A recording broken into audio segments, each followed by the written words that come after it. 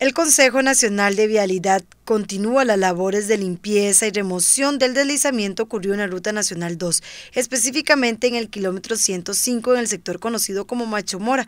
Según aclara la gerencia, el deslizamiento pudo haber sido provocado por las fuertes lluvias que se han dado en los últimos días.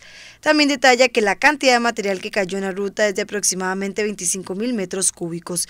Estos son removidos con maquinaria proveniente del Ministerio de Obras Públicas y Transportes y una empresa contratada, con tres excavadoras, dos cargadores y diez Se continúa trabajando en la limpieza de ambos carriles y se espera esta semana que se dé la reapertura, debido a la cantidad de material que se debe remover. Está pendiente la corta de varios árboles que con la colaboración de funcionarios de LICE se espera realizar pronto. A los usuarios se les recomienda utilizar como ruta alterna la Costanera Sur o Ruta 34. El CONAVI se encuentra en estudios e investigación de la zona afectada para evitar que la situación se vuelva a presentar.